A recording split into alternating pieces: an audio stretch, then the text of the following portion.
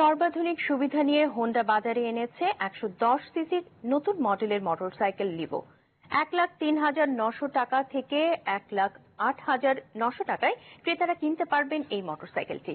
সকালে রাজধানীর সোনারগাঁ হোটেলে কেক কেটে এর উদ্বোধন করেন বাংলাদেশ হোন্ডা প্রাইভেট লিমিটেডের কর্মকর্তারা। পরে লাল, নীল ও গ্রে রঙের লিভো হোন্ডার চাবি ক্রেতাদের হাতে তুলে দেওয়া হয়।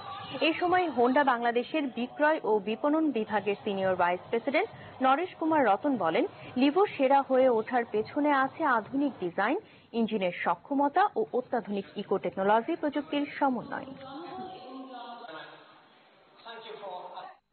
ময়মনসিংহে অনুষ্ঠিত হল আরটিভির এগারোতম আন্তর্জাতিক হিফজুল কোরআন প্রতিযোগিতা, জিপিএইচ ইস্পাত আলোকিত কোরআনের বাছাই পর্ব সকালে নগরী